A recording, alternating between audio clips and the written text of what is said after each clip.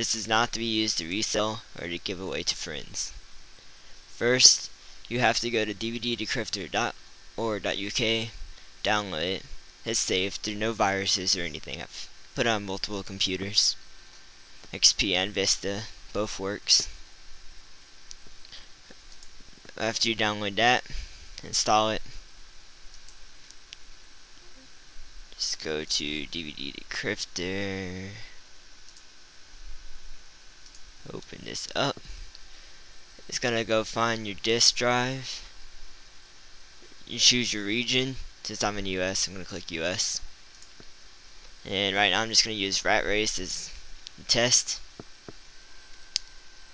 Okay, this I already have my settings set, but when you first install it, change your mode to IFO, and then go to Tools, Settings, IFO mode. Make sure Enable Stream Processing is checked, and then make File Splitting None.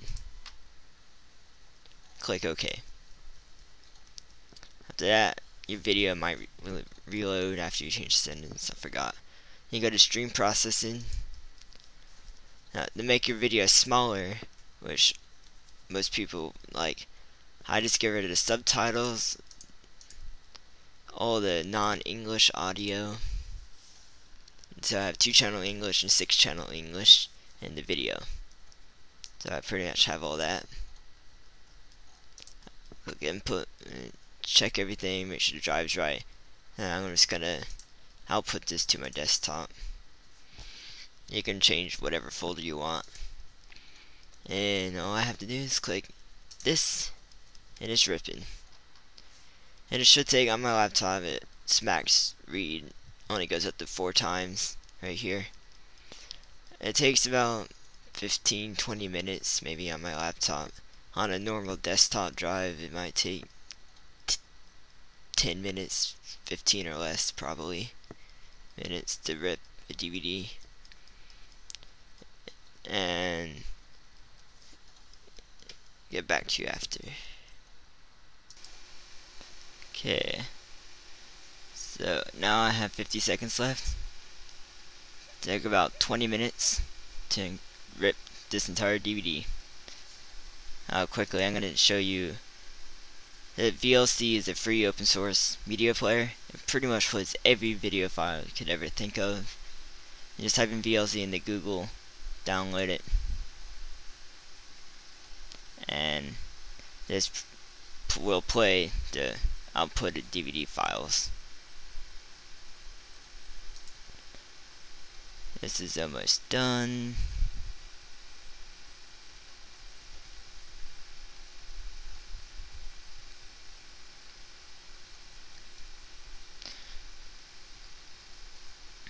highest it went was 4.1x and my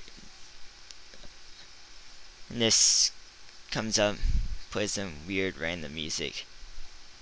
And yeah. My friend's computer got up to 16 times speed so about four times faster to about 10 minutes I think his took to rip one of his DVDs so and you have this uh, it comes out with these two files. Actually these three files. The really only file you need is this one.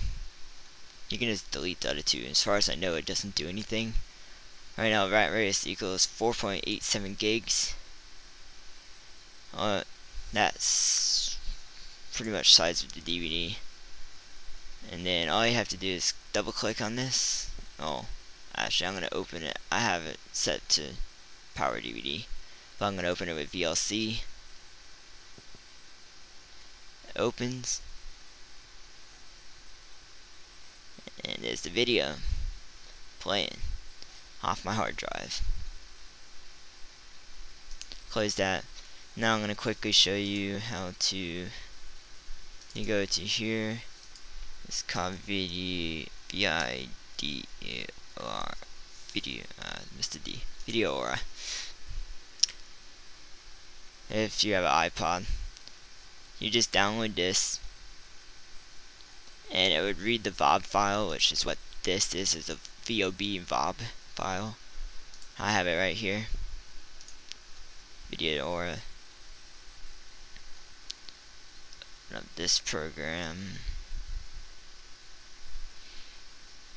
Okay. And you uh, customize your settings. I recommend for iPod Touch, iPhones, etc. Um, use this. You won't notice any difference of this, and this is just gonna be a larger file. you're not gonna notice any difference. I recommend doing two pass for movies.